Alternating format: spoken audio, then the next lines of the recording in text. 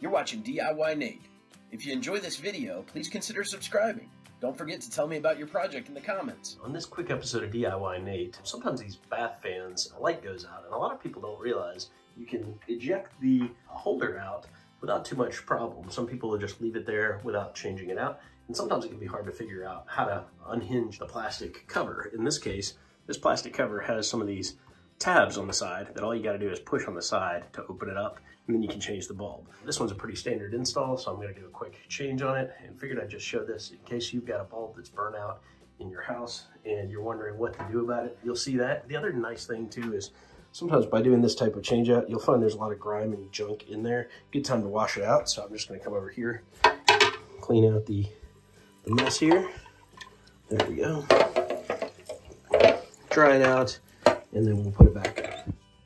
Okay, I've got my standard bulb here to swap out. I've taken the old bulb out already. And we're gonna go ahead and put it in here and test it. I have noticed there's some debris around the inside here, so got my power cut off. I'm gonna take a tissue, piece of toilet paper. I'm gonna wipe it down just to make sure I get that, uh, extra debris that's in there out. Okay, cleaning that off, some dust that's hanging out up there. We'll go ahead and pop this guy in.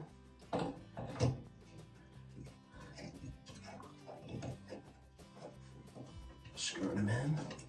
Pretty easy, straightforward, just like any other light bulb. I'm guessing this is a Broan, Broan brand. Can't really see a brand name from where I'm at. Yeah, actually is a Broan, B-R-O-A-N.